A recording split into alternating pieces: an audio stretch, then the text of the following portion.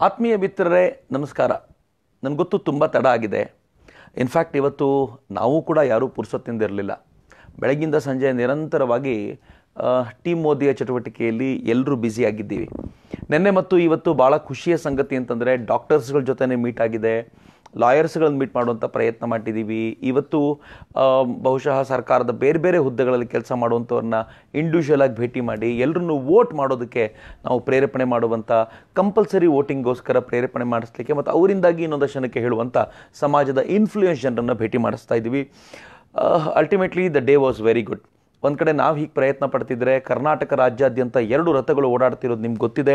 ರಥಗಳು ಹೇಗೆ ಹೋಗ್ತಿವೆ ಅಂತಂದರೆ ಬಿಲೀವ್ ಮೀ ಈ ಎರಡೂ ರಥಗಳ ಸುತ್ತಮುತ್ತ ಎಲ್ಲಿಗೆ ಹೋದರೂ ಕೂಡ, ಮತ್ತು ನಾವು ಹೋಗ್ತಿರೋದು ಹಳ್ಳಿಗಳಿಗೆ, ಪಟ್ಟಣಗಳಿಗೆಲ್ಲ ನೂರೈವತ್ತು ಇನ್ನೂರು ಜನಕ್ಕಿಂತ ಕಡಿಮೆ ಇಲ್ಲ. ಆ ಐವತ್ತು ಇಂಚಿನ ಟಿ ವಿಯನ್ನು ದೂರದಿಂದ ನಿಂತ್ಕೊಂಡು ಕೂಡ ಜನ ನೋಡೋದು ಸುಮಾರು ಇಪ್ಪತ್ತು ನಿಮಿಷಗಳ ಉದ್ದದ ಆ ವಿಡಿಯೋನ ಪ್ರತಿಯೊಬ್ಬರು ನಿಂತ್ಕೊಂಡು ವಿಡಿಯೋದ ಕೊನೆವರೆಗೂ ವೆಯ್ಟ್ ಮಾಡೋದು ಎಲ್ಲವೂ ಅದ್ಭುತ. ನನಗೆ ನಮ್ಮ ಹುಡುಗರು ಹೇಳ್ತಿದ್ರು ಒಂದು ಊರಲ್ಲಿ ರಥದ ಈ ಟಿ ವಿ ಇಲ್ಲಿ ಆ, ಮೋದಿಯವರ ಸಾಧನೆಗಳನ್ನು ತೋರಿಸುವಾಗ ಆ್ಯಂಪ್ಲಿಫೈರ್ ಹಾಳಾಗಿತ್ತಂತೆ. ಯಾರೋ ಒಬ್ಬ, ಇದು ನಿಲ್ಲಬಾರ್ದು ನಾನು ಆ್ಯಂಪ್ಲಿಫೈರ್ ತಂದ್ಕೊಡ್ತೀನಿ ಅಂತ ತಾನು ತನ್ನ ದೇವಸ್ಥಾನದಲ್ಲಿದ್ದ ಆ್ಯಂಪ್ಲಿಫೈರ್ ಅಂತಂದು ಕನೆಕ್ಟ್ ಮಾಡಿ ಇಡೀ ಟಿ ವಿಯಲ್ಲಿ ಬರ್ತಾ ಇರುವಂಥ ವಿಡಿಯೋ ನೋಡಿ ಕೊನೆಗೆ ಹೇಳಿದಂತೆ ಈ ಆ್ಯಂಪ್ಲಿಫೈರನ್ನು ತೊಗೊಂಡೋಗಿ ನೀವು ಸರಿ ಮಾಡ್ಕೊಂಡ ನಂತರ ನಂಗೆ ವಾಪಸ್ ತಂದುಕೊಟ್ರೆ ಸಾಕು ಅಂತ. ಇದು ಗ್ರೌಂಡ್ ಲೆವೆಲಲ್ಲಿ ನರೇಂದ್ರ ಮೋದಿಯವ್ರ ಬಗ್ಗೆ ಇರುವಂಥ ಪ್ರೀತಿ. ನಿನ್ನೆ ಮೊನ್ನೆ ನಮ್ಮ ಹುಡುಗರು ಹೇಳ್ತಾ ಇದ್ರು, ಒಂದು ಕಡೆ ಕಾರ್ಯಕ್ರಮ ಮಾಡ್ತಿರುವಾಗ ಸ್ಟೇಜ್ ಮೇಲೆ ಇದ್ದಕ್ಕಿದ್ದಂತೆ ಏರಿ ಬಂದಂಥ ಒಬ್ಬ ವ್ಯಕ್ತಿ ತನ್ನ ಬಟ್ಟೆನ ಹರ್ಕೊಂಡು ತನ್ನ ಎದೆ ಮೇಲಿದ್ದಂಥ ಹದಿನಾಲ್ಕು ಸ್ಟಿಚಸ್ಗಳನ್ನು ತೋರಿಸಿದ್ನಂತೆ. ಅದನ್ನು ತೋರಿಸಿ ಹೇಳಿದ್ದಂತೆ ನಾನು ತುಂಬ ಬಡವರ ಮನೆಯಿಂದ ಬಂದವನು. ನನಗೆ, ತುಂಬ ಕಷ್ಟ ಇದೆ ಮನೆಯಲ್ಲಿ. ಆದರೆ ಹಾರ್ಟ್ ಪೇಷಂಟ್ ಆಗಿದ್ದ ನನಗೆ ಮೋದಿಯವರ ಆಯುಷ್ಮಾನ್ ಭಾರತ್ ಕಾರ್ಡ್ನಿಂದಾಗಿ ಉಚಿತವಾಗಿ ಶಸ್ತ್ರಚಿಕಿತ್ಸೆ ಆಗಿದೆ ಅಂತ ಹೇಳಿ ಕಣ್ಣೀರು ಹಾಕ್ಬಿಟ್ನಂತೆ. ನೆರೆದಿದ್ದವರೆಲ್ಲ ಅಳ್ತಾ ಇದ್ರು ಅಂತ ನಮ್ಮ ಹುಡುಗರು ರಿಪೋರ್ಟ್ ಕೊಡ್ತಾ ಇದ್ರು. ಸೊ ಅಲ್ಟಿಮೇಟ್ಲಿ ನಾನು ಒಂದೇ ಮಾತು ಹೇಳಬೇಕು ಅಂತಂದರೆ ಹಳ್ಳಿಗಳಲ್ಲಿ ನರೇಂದ್ರ ಮೋದಿಯವರ ಕುರಿತಂಥ ಅಭಿಮಾನ ಒಂದು ಇಂಚು ಕೂಡ ಕಡಿಮೆ ಆಗಿಲ್ಲ. ಸಿಟಿಯಲ್ಲಿರುವಂಥವ್ರಿಗೆ ಸ್ವಲ್ಪ ಪ್ರಶ್ನೆಗಳಿರ್ಬೋದು. ಅನೇಕ ಪ್ರಶ್ನೆಗಳು ಏನು ಫೇಕ್ ನ್ಯೂಸ್ಗಳಿಂದಾಗಿ ಇವರು ತಲೆ ತಿಂದಿದೆಯಲ್ಲ, ಅದೊಂದಷ್ಟು ಪ್ರಶ್ನೆಗಳಿರ್ಬೋದು ಬಿಟ್ಟರೆ ಹಳ್ಳಿಯ ಜನ ಇಂಟ್ಯಾಕ್ಟ್ ಆಗಿದ್ದಾರೆ. ಮತ್ತು ಈ ಬಾರಿ ಮತ್ತೆ ನರೇಂದ್ರ ಮೋದಿಯವರನ್ನ ಪ್ರಧಾನಿ ಮಾಡಬೇಕು ಅಂತಂತೂ ಅವ್ರು ನಿಶ್ಚಯ ಮಾಡಿದ್ದಾರೆ. ಬಟ್ ನಾನೀಗ ನಿಮ್ಮನ್ನು ಭೇಟಿ ಮಾಡಿದ್ದ ಸಂಗತಿಗಳು ಒಂದು ಎರಡು ಮೂರು ಸಂಗತಿ ಇವತ್ತು ನಿಮ್ಮ ಜೊತೆ ಹಂಚ್ಕೋಬೇಕು. ಮೊದಲನೇದು, ನಾವು ಅರ್ಚಕರು ಮತ್ತು ಪುರೋಹಿತರನ್ನೇ ಒಂದು ಗ್ರೂಪ್ ಮಾಡಲಿಕ್ಕೆ ಪ್ರಯತ್ನ ಪಡ್ತಿದ್ದೀವಿ. ಇದು ಯಾಕೆ ಅಂತಂದರೆ, ಒಂದು ಎಲೆಕ್ಷನ್ ದಿವಸ ಇವ್ರು ಯಾರು ವೋಟ್ ಮಾಡ್ಲಿಕ್ಕೆ ಹೋಗದೆ ದೇವಸ್ಥಾನಕ್ಕೆ ಬರ್ತಾರಲ್ಲ, ಅರ್ಚಕರಲ್ಲಿ ಹೇಳಬೇಕು ಅಂತ, ದೇವರ ಕೃಪೆ ಸಿಗಬೇಕು ಅಂದರೆ ವೋಟ್ ಮಾಡಲೇಬೇಕು ಅಂತ. ವೋಟ್ ಮಾಡದೆ ನಾವು ನಲವತ್ತೈದು ಪರ್ಸೆಂಟು ಐವತ್ತು ಪರ್ಸೆಂಟು ಬೆಂಗಳೂರಿನಲ್ಲಂತೂ ಹೇಳ್ಕೊಳ್ಳಿಕ್ಕೂ ನಾಚಿಕೆ ಆಗುವಷ್ಟು ಕಡಿಮೆ ಪರ್ಸೆಂಟ್ ಇದೆಯಲ್ಲ, ಎಲ್ಲೋ ಒಂದು ಕಡೆ ಈ ಅರ್ಚಕರು, ಪುರೋಹಿತರು ಟ್ರೈ ಮಾಡಿದರೆ ಒಂದು ಪಾಸಿಟಿವ್ ವೈಬ್ಸನ್ನು ಹಬ್ಬಿಸ್ಲಿಕ್ಕೆ ಸಾಧ್ಯ ಆಗುತ್ತೆ. ಇದು ಪಾಯಿಂಟ್ ಒನ್ ನಾವು ಡಾಕ್ಟರ್ಸ್ಗಳನ್ನು ಗ್ರೂಪ್ ಮಾಡ್ತಿದ್ದೀವಿ, ನಾವು ಲಾಯರ್ಸ್ಗಳನ್ನು ಗ್ರೂಪ್ ಮಾಡ್ತಿದ್ದೀವಿ. ಯಾರ್ಯಾರಿಗೆ ಈ ವಿಚಾರದಲ್ಲಿ ಆಸಕ್ತಿ ಇದೆಯೋ ಅವ್ರನ್ನೆಲ್ಲ ಸೇರಿಸ್ಕೊಳ್ಳಿಕ್ಕೋಸ್ಕರ ನಾವೊಂದು ಗೂಗಲ್ ಫಾರ್ಮನ್ನು ಒಂದು ಒಂದು ಹಂಚ್ತಾ ಇದ್ದೀವಿ. ಅಥವಾ ಇನ್ಫ್ಯಾಕ್ಟ್ ಆ ಗೂಗಲ್ ಫಾರ್ಮ್ಗೆ ಯಾರಾದರೂ ಡಾಕ್ಟರ್ಸ್ ಇದ್ದರೆ ಅರ್ಚಕರಿದ್ದರೆ ಟೀಚರ್ಸ್ ಇದ್ದರೆ ಬೇರೆ ಬೇರೆ ಫೀಲ್ಡಲ್ಲಿ ಕೆಲಸ ಮಾಡ್ತವ್ರ ಮಾಡೋರಿದ್ದರೆ ಅವ್ರು ಅದಕ್ಕೆ ಅಪ್ಲೈ ಮಾಡಿಕೊಂಡ್ರೆ ಅಥವಾ ಆ ಗೂಗಲ್ ಫಾರ್ಮ್ಸ್ ತುಂಬಿದರೆ ನಾವಂಥವ್ರಿಗೆ ಬೇಕಾಗಿರುವಂಥ ಡೀಟೇಲ್ಸ್ ಕೊಡ್ತೀವಿ ಅನ್ನೋದು ಮೊದಲನೇ ವಿಚಾರ. ಇನ್ನು ಎರಡನೇ ವಿಚಾರ ಮಹಾರನ್ ನಿಮ್ಗೆಲ್ರಿಗೂ ನೆನಪಿರಬೇಕು. ಮಹಾರನ್ ಅಂತಂದರೆ ಕುಮಾರ್ ಮತ್ತು ದಂಪತಿಗಳು, ರೂಪಾ ದಂಪತಿಗಳು ಇವರಿಬ್ಬರು ಕನ್ಯಾಕುಮಾರಿಯಿಂದ ಕಾಶ್ಮೀರದವರೆಗೂ ನರೇಂದ್ರ ಮೋದಿಯವರನ್ನು ಪ್ರಧಾನಿ ಮಾಡಿಸೋ ಉದ್ದೇಶದಿಂದ ಓಟ ಮಾಡ್ತೀವಿ ಅಂತ ಹೇಳಿದರು. ಕನ್ಯಾಕುಮಾರಿಯಲ್ಲಿ ಶುರುವಾಯಿತು ಜನವರಿ ಇಪ್ಪತ್ತಾರಕ್ಕೆ. ಇನ್ಫ್ಯಾಕ್ಟ್ ಕನ್ಯಾಕುಮಾರಿ ಅಂದರೆ ತಮಿಳುನಾಡಿನ ಅಷ್ಟು ಉದ್ದದ ಆ ಸ್ಟ್ರೆಚ್ಚನ್ನು ನಾವು ನಮ್ಮ ಟೀಮ್ ಮೋದಿಯ ಕಡೆಯಿಂದನೇ ಹ್ಯಾಂಡಲ್ ಮಾಡಿದ್ವಿ. ಅವರು ಓಡುವಾಗ ಕೆಲವು ಕಡೆ ಜನ ಅವರಿಗೆ ಸ್ವಾಗತಕ್ಕೆ ಬಂದಿದ್ದಾರೆ. ಅತ್ಯಂತ ಪ್ರೀತಿಯಿಂದ ಅವ್ರ ಜೊತೆ ನಿಂತಿದ್ದಾರೆ. ತಮಿಳ್ನಾಡಿನಲ್ಲೇ ಮಾಡಿರಬೇಕಾದ್ರೆ ಕರ್ನಾಟಕದಲ್ಲಿ ಸುಮ್ಮನೆ ಇರೋದು ಹೆಂಗೆ? ಕರ್ನಾಟಕಕ್ಕೆ ಅವರು ಆರನೇ ತಾರೀಕು ಸಂಜೆ ಬರ್ತಾರೆ ಎಂಟ್ರಿ ಆಗಬೇಕು. ಏಳನೇ ತಾರೀಕು ನಾವು ಅವ್ರಿಗೊಂದು ಗ್ರ್ಯಾಂಡ್ ವೆಲ್ಕಮ್ ಕೊಡಬೇಕು ಅಂತ ನಿಶ್ಚಯ ಮಾಡಿದ್ದೀವಿ. ಈ ಗ್ರ್ಯಾಂಡ್ ವೆಲ್ಕಮ್ ಅಂದರೆ ಹೇಗೆ ಗೊತ್ತಾ? ಹೆಚ್ ಎಸ್ ಆರ್ ಲೇಔಟ್ನಲ್ಲಿ ಒಂದು ಜಾಗ ಇದೆ. ಅದು Saibaba temple, H S R layout, H S R ground, ಆ ಸಾಯಿಬಾಬಾ ಟೆಂಪಲ್ ಹತ್ತಿರ ಇರುವ ಹೆಚ್ ಎಸ್ ಆರ್ ಗ್ರೌಂಡಲ್ಲಿ ನಾವೆಲ್ಲರೂ ಸೇರಬೇಕು ಅಂತ ನಿಶ್ಚಯ ಮಾಡಿದ್ದೀವಿ. ಅವರಿಬ್ಬರು ಅಲ್ಲಿಗೆ ಬಂದಾಗ ಯಾರು ನರೇಂದ್ರ ಮೋದಿ ಪ್ರಧಾನಿ ಆಗಬೇಕು ಅಂತ ನಾಲ್ಕು ಸಾವಿರ, ಹೆಚ್ಚು ಕಡಿಮೆ ನಾಲ್ಕು ಸಾವಿರ ಕಿಲೋಮೀಟರ್ಗಳು ಓಡ್ತಾ ಇದ್ದಾರೋ, ಅವ್ರ ಜೊತೆಗೆ ನಾವು ಒಂದೆರಡು ಕಿಲೋಮೀಟರ್ ಆದರೂ ಹೆಜ್ಜೆ ಹಾಕಬೇಕು ಅನ್ನೋ ನಿಶ್ಚಯದಿಂದ ನಾವೆಲ್ಲ ಅಲ್ಲಿಗೆ ಸೇರ್ತಾ ಇದ್ದೀವಿ. ನಮ್ಮ ಅಂದಾಜು ತುಂಬ ದೊಡ್ಡದಾಗಿದೆ. ನಾವು ಅಷ್ಟು ದೊಡ್ಡ ಮಟ್ಟದಲ್ಲಿ ಬೆಳಗಿನ ಜಾವ ಆರು ಗಂಟೆಗೆ ನಾವೆಲ್ಲರೂ ಅಲ್ಲಿ ಸೇರಬೇಕು. ವರ್ಕಿಂಗ್ ಡೇ ಆಗಿದ್ದರಿಂದ ನಂಗೆ ಗೊತ್ತು ಎಲ್ಲರೂ ಓಟ ಮುಗಿಸಿ ಓಡಬೇಕು, ತಮ್ಮ ತಮ್ಮ ಆಫೀಸುಗಳಿಗೆ ಓಡುವಂಥ ಕೆಲಸ ಇರುತ್ತೆ. ಆದರೆ ನರೇಂದ್ರ ಮೋದಿಯವರು ಮತ್ತೆ ಪ್ರಧಾನಿಯಾಗುವ ನೆಪದಲ್ಲಿ ಅಥವಾ ದೃಷ್ಟಿಯಿಂದ ಜನರ ಜಾಗೃತಿಗೋಸ್ಕರ ಓಡ್ತಾ ಇರುವಂಥ ಕುಮಾರ್ ದಂಪತಿಗಳನ್ನು ನಾವೆಲ್ಲರೂ ಸ್ವಾಗತಿಸಲಿಕ್ಕೆ ಸಿದ್ಧರಾಗಬೇಕು ಅಂತ ಹೆಚ್ ಎಸ್ ಆರ್ ಲೇಔಟಲ್ಲಿ ಸೇರ್ತಾ ಇದ್ದೀವಿ. ಬೆಂಗಳೂರಿನ ಹೆಚ್ ಎಸ್ ಆರ್ ಲೇಔಟು ಒಂಥರ ಎಲೆಕ್ಟ್ರಾನಿಕ್ ಹಬ್ ಅಂತ ಕರಿಬೋದು ನಾವು ಅದನ್ನು. ಸಾಫ್ಟ್ವೇರ್ ಇಂಜಿನಿಯರ್ಸ್ ಭಾಳ ಜನ ಅಲ್ಲಿದ್ದೀರಿ. ನಾನು ನಿಮ್ಮನ್ನು ಕಳಕಳಿಯಿಂದ ಕೇಳ್ಕೊಳ್ತೀನಿ. ಮೋದಿಗೋಸ್ಕರ ನಾವೇನು ಮಾಡ್ತೀವಿ ಅಂತ ಕೇಳಿದರೆ ಒಂದು ಒಂದು ಒಂದು ಕಮೆಂಟ್ ಮಾಡ್ತೀವಿ, ಒಂದು ಲೈಕ್ ಮಾಡ್ತೀವಿ ಶೇರ್ ಮಾಡಿಬಿಡ್ತೀವಿ, ಇಷ್ಟು ಸಾಲದು ಅಂತ ಸ್ವಲ್ಪ ಬೀದಿಗೆ ಬರಬೇಕು. ನಾನು ಮಹಾಗಠಬಂಧನ್ ಬಗ್ಗೆ ಮಾತಾಡುವಾಗ ಅಂದ್ಕೊಳ್ತೀನಿ ಎಲ್ಲ ಮೋಸ ಮಾಡಿದವರು, ಈ ದೇಶದಲ್ಲಿ ಭ್ರಷ್ಟಾಚಾರದಲ್ಲಿ ಹೆಸರುವಾಸಿಯಾದವರು, ಬೇಲ್ಗಳಲ್ಲಿ ಅವರು ಬೇಲ್ ತೆಗೆದುಕೊಂಡು ಗೌರ್ ಸುಪ್ರೀಂ ಕೋರ್ಟ್ನಿಂದ ಹೊರಗಡೆ ತಿರುಗಾಡ್ತಿರೋರೆಲ್ಲ ಒಟ್ಟಾಗಿ ನರೇಂದ್ರ ಮೋದಿಯವರನ್ನ ಸೋಲಿಸಬೇಕು ಅಂತ ನಿಶ್ಚಯ ಮಾಡಿದಾಗ, ಮಹಾಜನತೆಯಾಗಿ ನಾವು ಒಟ್ಟಾಗಿ ನರೇಂದ್ರ ಮೋದಿಯವರನ್ನ ಗೆಲ್ಲಿಸಲಿಕ್ಕೆ ಅಂತ ನಿಂತ್ಕೋಬೇಕು ಅಂತ.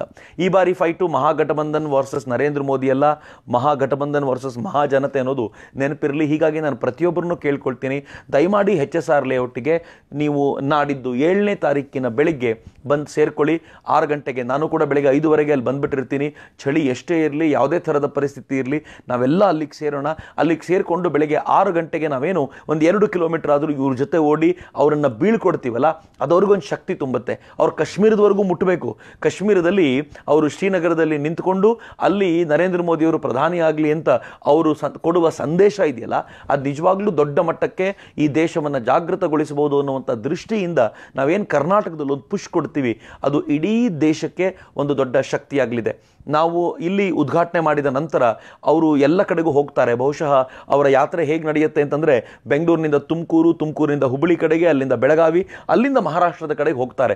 ಹೀಗಾಗಿ ಈ ದಾರಿಯುದ್ದಕ್ಕೂ ನಾನು ಟೀಮ್ ಮೋದಿಯ ಕಾರ್ಯಕರ್ತರಲ್ಲಿ ಕೇಳ್ಕೊಳ್ತೀನಿ. ಉತ್ಸಾಹ ತುಂಬೋಣ, ಹೊಸ ಹೊಸ ತರುಣರನ್ನು ತಂದು ಜೋಡಿಸೋಣ, ಇವ್ರ ಜೊತೆ ಸೇರಿಸಲಿಕ್ಕೆ ಪ್ರಯತ್ನ ಪಡೋಣ. ಒಂದು ಹೆಣ್ಮಗಳು ಕೂಡ, ದಂಪತಿಗಳು ಓಡ್ತಾ ಇರೋದ್ರಿಂದ ತಾಯಂದರು ಕೂಡ ಈ ಕಾರ್ಯಕ್ರಮಕ್ಕೆ ಬನ್ನಿ. ಬರಬೇಕಾದ್ರೆ ನನ್ನೊಂದು ವಿನಂತಿ ಇದೆ ಏನು ಅಂತಂದರೆ, ಪದೇ ಪದೇ ಟಿ ಶರ್ಟನ್ನು ಕೊಂಡ್ಕೋಬೇಕು ಅಂತ ನಾನು ಕೇಳ್ಕೊಳ್ಳಲ್ಲ. Of course team Modi T shirt ಇರುತ್ತೆ, ಬೇಕಾದವ್ರು ತೆಗೆದುಕೊಳ್ಬೋದು. ಅದರ್ವೈಸ್ ನಿಮ್ಮ ಹತ್ರ ಇರೋ ವೈಟ್ ಟಿ ಶರ್ಟ್ ಹಾಕ್ಕೊಂಡೇ ಬಂದ್ಬಿಡಿ. ವೈಟ್ ಟಿ ಶರ್ಟ್ ಹಾಕೊಂಡು ನಾವೆಲ್ಲ ಓಡೋಣ. ನಾವು ಓಡುವಾಗ ಇಡೀ ಎದುರಾಳಿಗಳು ಯಾರಿದ್ದಾರೋ ಒಂದ್ಸಲ ಎದೆ ಢವಗುಟ್ಟುವಂತಾಗಲಿ. ನರೇಂದ್ರ ಮೋದಿಯವರ ಹವಾ ಕಡಿಮೆ ಆಗೋಗಿದೆ. ಮೂರು ರಾಜ್ಯಗಳಲ್ಲೂ ಸೋತ ಮಾತ್ರಕ್ಕೆ ನರೇಂದ್ರ ಮೋದಿಯವರು ದೇಶವನ್ನೇ ಕಳ್ಕೊಳ್ತಾರೆ ಅಂತ ಇವ್ರೇನು ಸುದ್ದಿ ಹಬ್ಬಿಸ್ತಾ ಇದ್ದಾರೆ? ಅದೆಲ್ಲವೂ ಸುಳ್ಳು. ನರೇಂದ್ರ ಮೋದಿ ಗೆಲ್ಲೋದು ಖಾತ್ರಿ ಅನ್ನೋದನ್ನು ನಾವು ಮತ್ತೊಮ್ಮೆ ಸಾಬೀತುಪಡಿಸಲಿಕ್ಕೆ ಅದರ ಒಂದು ಹೆಜ್ಜೆಯಾಗಿ ನಾವು ಈ ಕಾರ್ಯಕ್ರಮವನ್ನು ಮಾಡೋಣ.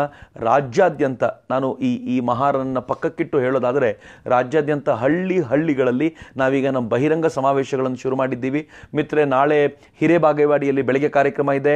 ಅದಾದಮೇಲೆ ಮಧ್ಯಾಹ್ನ ಮತ್ತೊಂದು ಕಡೆ ಕಾರ್ಯಕ್ರಮ ಇದೆ. ಸಂಜೆ ನಾವು ರಾಮದುರ್ಗದ ಹತ್ರ ಸಾಲಹಳ್ಳಿಗೆ ಹೋಗ್ತಾ ಇದ್ದೀವಿ. ನಾಡಿದ್ದು ಮತ್ತೆ ಮೂರು ಕಾರ್ಯಕ್ರಮಗಳು. ಹೀಗೆ ಪ್ರತಿನಿತ್ಯ ಹಳ್ಳಿ ಹಳ್ಳಿಗಳಿಂದ ಬರ್ತಾ ಇರುವಂಥ ರೆಸ್ಪಾನ್ಸು ಹೆಚ್ಚು ಅಮೇಝಿಂಗ್ ಆಗಿರುವಂಥ ರೆಸ್ಪಾನ್ಸ್ ಇದೆ ಅಂತ ನಿಮ್ಮ ಜೊತೆ ಹಂಚ್ಕೊಳ್ಬೇಕಾದ್ರೆ ಖುಷಿ ಆಗುತ್ತೆ. ಒಂದು ಮಾತಂತೂ ಹೇಳಬಲ್ಲೆ, ನರೇಂದ್ರ ಮೋದಿಯವರ ಕುರಿತಂಥ ಈ ಚುನಾವಣೆ ಆದಾಗ ಮಹಾಗಠಬಂಧನ ಆದಾಗ ಎಲ್ಲರೂ ಹೇಳಿದರು, ಎಂಟು ಸೀಟು ಬರ್ಬೋದು, ಹತ್ತು ಸೀಟು ಬರ್ಬೋದು ಅಂತ. ಆದರೆ ನಾವು ಮಾತ್ರ ಹದಿನೇಳರಿಂದನೇ ಶುರು ಮಾಡಿದ್ವಿ. ಕಳೆದ ಬಾರಿ ಹದಿನೇಳು ಇತ್ತು ಈ ಬಾರಿಯೂ ಹದಿನೇಳು ಅಂತ. ಆದರೆ ಈಗ ಮುಂದುವರೆದು ಜನರ ರಿಯಾಕ್ಷನ್ ನೋಡಿ ನನಗೆ ಅನ್ನಿಸ್ತಾ ಇದೆ. ಹದಿನೇಳಲ್ಲ, ಇಪ್ಪತ್ತಾಗುತ್ತೆ, ಇಪ್ಪತ್ತನ್ನು ದಾಟಿ ಹೋದರೂ ಅಚ್ಚರಿ ಪಡಬೇಕಾಗಿಲ್ಲ ಯಾಕೆ ಅಂತಂದರೆ ಹಳ್ಳಿ ಹಳ್ಳಿಗಳಲ್ಲಿ ಜನ ನರೇಂದ್ರ ಮೋದಿ ಪ್ರಧಾನಿಯಾಗಲಿ ಎನ್ನುವಂಥ ಆಸೆಯನ್ನು ವ್ಯಕ್ತಪಡಿಸ್ತಾ ಇದ್ದಾರೆ. ಮತ್ತು ನರೇಂದ್ರ ಮೋದಿಯವರ ವಿರುದ್ಧ ಯಾರ್ಯಾರು ಒಟ್ಟಾಗಿದ್ದಾರೋ ಈ ಮಹಾಗಠಬಂಧನೆಲ್ಲ ನರೇಂದ್ರ ಮೋದಿಯವರನ್ನು ಸೋಲಿಸಲಿಕ್ಕೆ ಕಳ್ಳರು ಒಟ್ಟಾಗಿದ್ದಾರೆ ಎನ್ನುವಂಥ ಒಂದು ಚಿಂತನೆ ಏನು ಹಬ್ತಾ ಇದೆ. ಅದೇ ನರೇಂದ್ರ ಮೋದಿಯವರನ್ನು ಗೆಲ್ಲಿಸುತ್ತೆ ಅಂತ. ಮಿತ್ರ ನರೇಂದ್ರ ಮೋದಿಯವರು ಗೆಲ್ಲಲಿ, ಮುನ್ನೂರಕ್ಕೂ ಹೆಚ್ಚು ಸೀಟುಗಳನ್ನು ಪಡೆದು ನರೇಂದ್ರ ಮೋದಿಯವರು ಮತ್ತೊಮ್ಮೆ ಪ್ರಧಾನಿಯಾಗಲಿ ಅದರ ಜೊತೆಗೆ ನಾನು ಮತ್ತು ನೀವು ಏಳನೇ ತಾರೀಕು ನರೇಂದ್ರ ಮೋದಿಯವರಿಗೋಸ್ಕರ ಒಂದು ಎರಡು ಗಂಟೆಗಳ ಕಾಲ ಬೀದಿಗೆ ಬರೋಣ, ಆರು ಗಂಟೆಗೆ ನಾವೆಲ್ಲರೂ ಗ್ರೌಂಡಲ್ಲಿ ಸೇರೋಣ, ಒಂದು ಸ್ವಲ್ಪ ಹೊತ್ತು ಓಡೋಣ, ಅದಾದಮೇಲೆ ಒಂದು ಪುಟ್ಟ ಕಾರ್ಯಕ್ರಮದಲ್ಲಿ ನಾವೆಲ್ಲರೂ ಭಾಗವಹಿಸಿ ಒಂದಷ್ಟು ನರೇಂದ್ರ ಮೋದಿಯವರ ಸಾಧನೆಗಳ ವಿಚಾರವನ್ನು ತಿಳಿದುಕೊಳ್ಳೋ ಪ್ರಯತ್ನ ಮಾಡೋಣ ಅಂತ ಅತ್ಯಂತ ಪ್ರೀತಿಯಿಂದ, ವಿನಮ್ರತೆಯಿಂದ ಕೇಳ್ಕೊಳ್ತೀನಿ. ನಿಮಗೆ ಯಾವುದಾದ್ರೂ ಆ, ಏನು ವಿವರಣೆಗಳು ಬೇಕಾದರೆ ಏನಾದರೂ ವಿಚಾರಗಳು ಗೊತ್ತಾಗಬೇಕು ಅಂತಂದರೆ ನಾನು ಎರಡು ನಂಬರನ್ನು ಶೇರ್ ಮಾಡ್ತೀನಿ. Nine six eight six zero four nine four one two. Nine six eight six zero four nine four one two. Nine double zero eight one three five one three five. Nine double zero eight one three five one three five ಈ ಎರಡು number ಇದೆ. ನಾನು ಇದಕ್ಕೆ ಸಂಬಂಧಪಟ್ಟ ಕರಪತ್ರವನ್ನು ಇದೇ ಲೈವಲ್ಲಿ share ಮಾಡಲಿಕ್ಕೆ ನಮ್ಮ ಹುಡುಗರಿಗೆ ಕೇಳ್ಕೊಳ್ತೀನಿ, ಅವ್ರು ಶೇರ್ ಮಾಡ್ತಾರೆ. ಈ ಈ ಕರಪತ್ರವನ್ನು ನೋಡಿ ದಯಮಾಡಿ ಬನ್ನಿ. ನೀವು ಮಾತ್ರ ಬರೋದಷ್ಟೇ ಅಲ್ಲ, ನಿಮ್ಮ ಜೊತೆಗಾರನೂ ಕರ್ಕೊಂಡು ಬನ್ನಿ. ಕಾಲೇಜ್ಗೆ ಹೋಗುವಂಥ ಮಕ್ಕಳು ಏಯ್ಟೀನ್ ದಾಟಿರೋ ಪ್ರತಿಯೊಬ್ಬರೂ ಅದಲ್ಲದೆ ಹದಿನೆಂಟಕ್ಕಿಂತ ಕಡಿಮೆ ಇರೋರು ಬನ್ನಿ ಯಾಕೆ ಅಂತಂದರೆ ಮೋದಿಯನ್ನು ಬರೀ ಎರಡು ಸಾವಿರದ ಹತ್ತೊಂಬತ್ತಕ್ಕಲ್ಲ ಎರಡು ಸಾವಿರದ ಇಪ್ಪತ್ನಾಲ್ಕಕ್ಕೂ ಪ್ರಧಾನಿಯಾಗಿಸ್ಕೊಳ್ಬೇಕು ಅನ್ನೋದು ನಮ್ಮೆಲ್ಲರಿಗೂ ನೆನಪಿರಲಿ ಅಂತ ನಾನು ಅತ್ಯಂತ ಕಳಕಳಿಯಿಂದ ವಿನಂತಿಸ್ಕೊಳ್ತಾ ಮತ್ತೊಮ್ಮೆ ನಿಮಗೆಲ್ಲರಿಗೂ ಶುಭರಾತ್ರಿ ವಿಶ್ ಮಾಡ್ತಾ ಇದ್ದೀನಿ. ನಾವೆಲ್ಲರೂ ಅಲ್ಲಿ ಭೇಟಿಯಾಗೋಣ. ಎಚ್ ಎಸ್ ಆರ್ ಗ್ರೌಂಡ್ನಲ್ಲಿ ಸಾಯಿ ಮಂದಿರದ ಪಕ್ಕದಲ್ಲಿ ಏಳನೇ ತಾರೀಕು ಬೆಳಗ್ಗೆ ಆರು ಗಂಟೆಗೆ ಭೇಟಿಯಾಗೋಣ. ನಮಸ್ಕಾರಗಳು. ಜೈ ಹಿಂದ್.